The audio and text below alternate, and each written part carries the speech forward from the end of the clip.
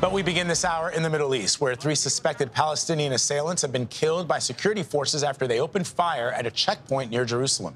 According to Reuters, six people were injured in the attack, and at least two of the gunmen were members of Hamas. This comes as Israeli soldiers continue their operation at the Al Shifa hospital complex in Gaza.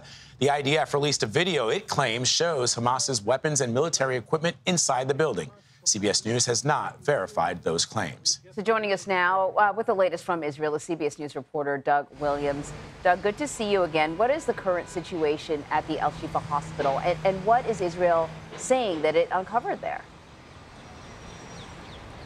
Anne Marie and Vlad, good morning. Uh, the very latest is we were just briefed uh, about an hour ago by an IDF official saying that the IDF are scanning every floor of Al Shifa Hospital in the heart of Gaza. The activity continues with the understanding that there are many other terrorist infrastructures in the building which are well buried. I'll get to that in a second.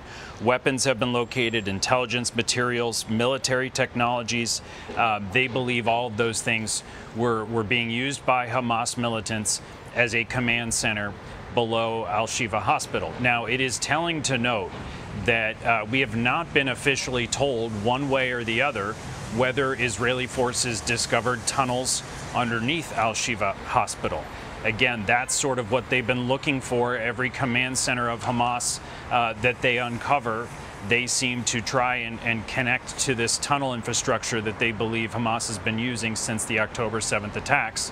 Uh, but uh, well buried, uh, we have heard reports from the Hamas run Ministry of Health that they've been trying to bulldoze underneath that area to see what may have been connected and buried by Hamas. So the Israelis uh, say they found this uh, center for Hamas militants, but as of now, we have not been told officially that uh, tunnels were discovered there.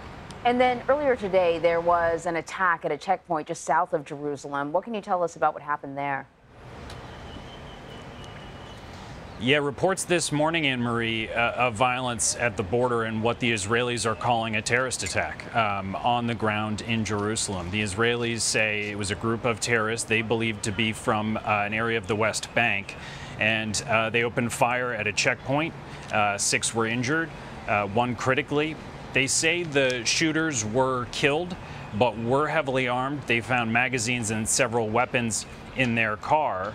Uh, the Israeli security agency is investigating, and I think this will be interesting uh, to learn whether the attack was meant to take place at that crossing or whether it was a, uh, a significant attack plan that was foiled that was meant for uh, inside Jerusalem, Anne Marie. Hmm, really fascinating, Doug. Uh, thank you very much. Well, CBS News has learned that Israel is considering a deal with Hamas that would secure the release of some hostages being held in Gaza. Our Ed O'Keefe is following this story for us from the White House. Ed, what are we learning? Anne Marie, good to see you again. Just to stress, this deal isn't necessarily finalized yet, is fluid and won't be final until the hostages are actually released. In this latest proposal, Israel would agree to a three to five day ceasefire, and during that time, aid would be allowed into Gaza and a group of the youngest hostages and women would be released, to officials with knowledge tell CBS News. Children are being prioritized as part of the first wave of a potential hostage release aimed at ultimately bringing home the roughly 240 people taken during the October 7th Hamas attack. In addition, one of the officials said that an unspecified number of Palestinian women and children held in Israeli prisons also potentially would be swapped.